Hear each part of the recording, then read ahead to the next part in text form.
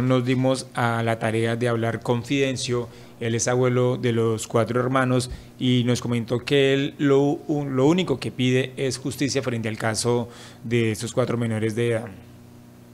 Sí, lo que, lo que queremos es justicia y no más mentira y que las cosas se, aclarezcan, porque eso, es lo que más se quiere en este momento, justicia y, no más mentira. que lo que ha dicho Manuel es pura mentira, eso ya no se puede creer él nunca cuenta la verdad.